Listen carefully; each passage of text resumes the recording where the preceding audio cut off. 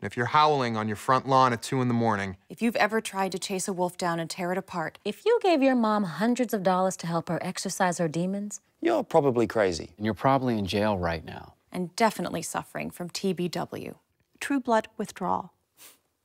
But true blood addiction is no laughing matter. It's the leading cause of television related withdrawal in America today. But don't worry, because help has finally arrived. HBO has created TBWithdrawal.com. It's a place where Bon Temps addicts can come together to satisfy their true blood cravings.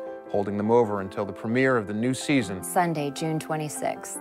You can watch clips, Talk about the upcoming fourth season. Argue over which supernaturals are the sexiest, vampires or werewolves. Or support your favorite redheaded merlots. or admire Pam's extraordinary fashion sense. Or just profess your loyalty to Team Bill. With millions of addicts out there, why should you suffer alone? TBWithdrawal.com makes waiting suck a lot less.